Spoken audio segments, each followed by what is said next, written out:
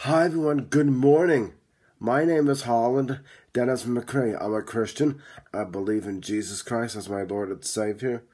And God has put it on my heart to talk to you all today. Very important message. Yesterday, on September 4th, 2024, a 14 year old student opened fire at a Georgia high school and killed four people on Wednesday. Authorities said sending the students scrambling for shelter. So, this was another act of gun violence. That is not okay. It is not okay for a 14 year old boy to be in possession of a gun, then go into a school and kill four people.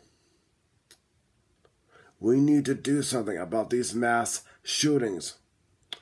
We need to have more gun laws. It is not okay for any kid to own a gun, especially a 14 year old boy. And it's not okay to take a gun to school and shoot innocent people that didn't deserve to be shot. What are we doing wrong in this country? What are we doing wrong to, to not put gun laws in effect? We are failing our children.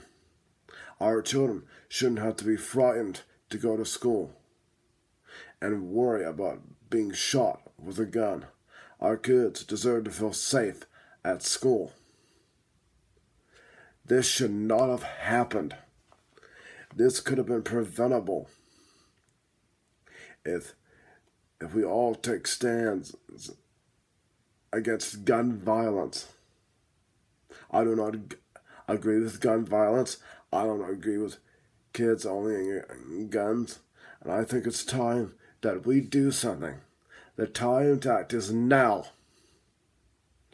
And I wanted to say my heart goes out to the families of the victims and students of that Georgia high school.